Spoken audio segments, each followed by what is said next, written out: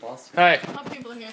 Hi. Hey. What's up? So, um, word of the day: Flinch. flinch. Use it in a sentence incorrectly.